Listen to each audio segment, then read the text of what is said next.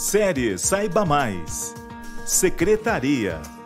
Muito do eficiente funcionamento da igreja depende do trabalho do secretário da igreja. Por causa da importância e da especialização dessa função, é sábio escolher alguém que possa ser reeleito a fim de haver continuidade na conservação das atas e relatórios. O secretário de igreja deve desenvolver sua função em três áreas de trabalho: administrativa, técnica e missional, o que inclui participar na tomada das principais decisões para o bom funcionamento da igreja, seguir as recomendações do Manual da Igreja e do Guia de Secretaria, não ultrapassar os limites de suas atribuições conhecer o manual da igreja, os formulários e certificados e também o sistema adventista de gestão de igrejas, além de outros recursos por ele utilizados.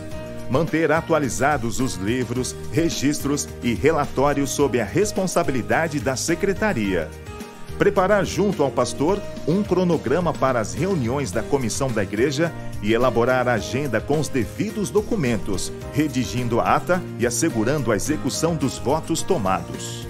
Zelar para que a igreja desenvolva um programa de conservação e retenção de novos conversos.